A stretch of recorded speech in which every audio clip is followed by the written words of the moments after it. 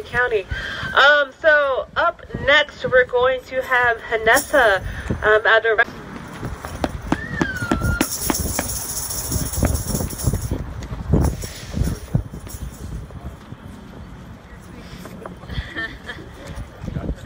Uh, that would be helpful. Okay, I'm gonna, Thank you. I'm gonna hold it for. Okay, so just bear with me. I wrote all of this on the train here, right here. so, uh, my name is Henessa, and I am a graduating student at Rutgers University, studying philosophy, political science, and economics. So, in January 2015, Rutgers received a 1.95 million grant in uh, for the establishment of the CCIS, or the Center for Critical Intelligence Studies, funded by the DIA making Rutgers the only Big Ten school to be federally recognized as an intelligence community academic excellence. The center is headed by former acting U.S. Intelligence Undersecretary to U.S. USDIA, DHS, um, John Cohen. So, um, the objective of the center is to quote provide undergraduate and graduate students with academic experiences that will prepare them for careers in national security and law enforcement.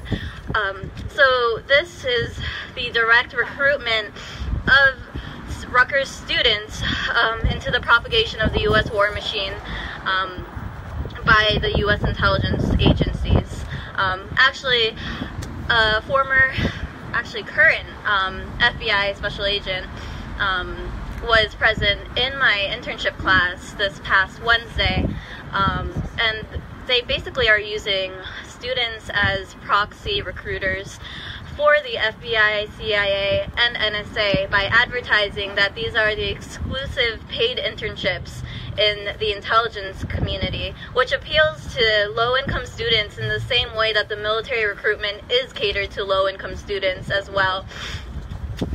Uh, further, there are um, critical intelligence studies classes taught by John Farmer, who is former senior counsel to the National Commission on Terrorist Attacks upon the U.S., aka the 9 11 Commission. Um, I looked at the syllabus briefly for the Intro to Critical Intelligence Studies with uh, John Farmer, and one of the objectives of this class is to identify the role intelligence gathering has played through history to and also identify historical lessons learned and apply them to the challenges of the intelligence community that are faced in the post 9/11 era. Um, a further review of the critical intelligence studies minor um, shows that the target focus of these studies is on South Asia, East Asia, the study of the Arabic language, Latin America, Middle East, and Russia. Also, further criminalizing Islam by promoting the studies of Arabic along with two classes that fulfill the requirement called Islamic Law and Jurisprudence and Islam and democracy in the Arab world.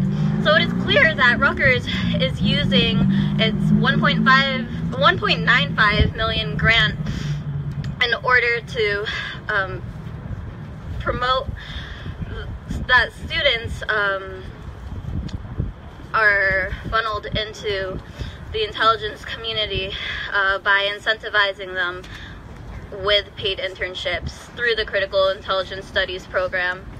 So, right now we're in the process of organizing a panel on the militarization of campus, um, whose date is to be announced. So, if you'd like to follow up with us, um, we do have a Facebook group called CIA Off Campus um, to oppose campus militarism. Thank you. Thank you so much, Henessa. I was good. Pardon me? Oh yeah, go ahead. Go.